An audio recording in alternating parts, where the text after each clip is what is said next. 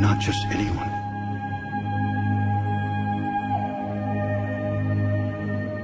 One day, you're going to have to make a choice.